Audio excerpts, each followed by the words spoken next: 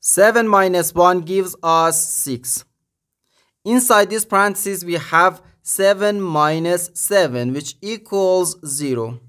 So 6 times 0 gives us 0. But this answer is not correct. Because according to the order of operations, first we have to do parentheses, then exponents, then multiplication or division, and finally addition or subtraction. Remember that multiplication and division have equal priority and we have to work from left to right. And the same applies to addition and subtraction.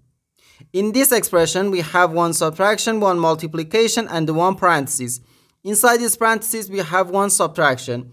Here we have a multiplication because in mathematics, when a number is placed next to parenthesis, it means multiplication. And we usually don't write the multiplication sign for brevity. Okay, so according to the PEMDAS, first we have to do this parenthesis, then this multiplication, and finally this subtraction. If we do this subtraction before this multiplication or this parenthesis, it is wrong.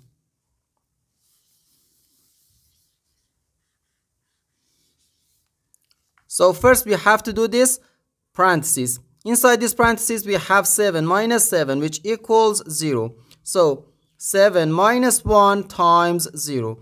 Now we have one subtraction and one multiplication.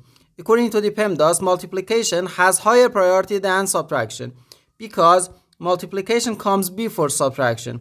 So here first we have to do this multiplication. 1 times 0 equals 0.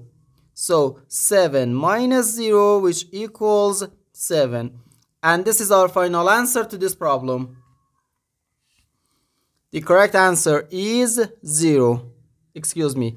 The correct answer is 7.